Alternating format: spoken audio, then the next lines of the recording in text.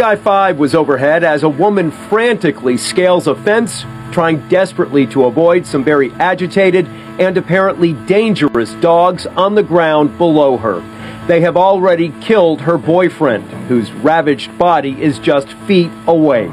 The deadly pit bull attack happened at a home on North Thorson Avenue in Compton.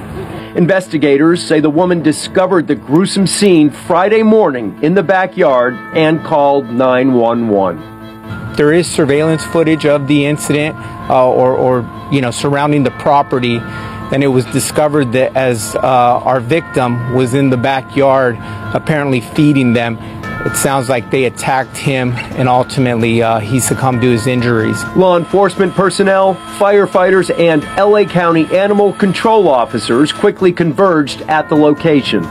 First responders say the initial challenge was to corral the dogs into a neighboring yard to gain access to the victim. Shows the dogs ripped off most of the 35 year old man's clothes, in addition to fatally biting and mauling him. Neighbors and animal advocates are stunned.